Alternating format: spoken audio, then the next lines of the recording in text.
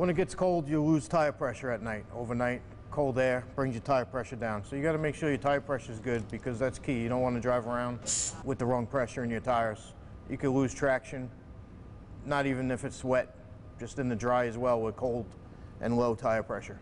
You should always have your battery checked every oil change because a battery you're not going to really know if something's wrong until something's wrong.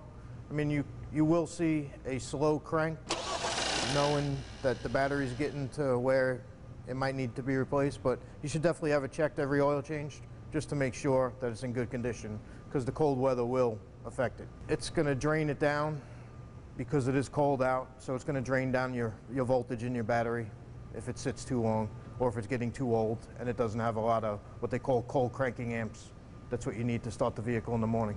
If you don't have the proper level of antifreeze in the vehicle, the car can run hot and overheat and it can break down on you. You want to have your antifreeze at the correct level and the correct mixture. It shouldn't just be straight antifreeze, there has to be a water added to it as well. You don't want to overfill it. There is a level on your overflow bottle because if you overfill it again, it can start spraying out and overheat as well if it's too full. Belt's still dry out. It looks fine on this side, but the inside, if you could see, they start to crack and you won't see that. You won't even know until it breaks. When it breaks, your engine stops and that's it. You're stranded where it is.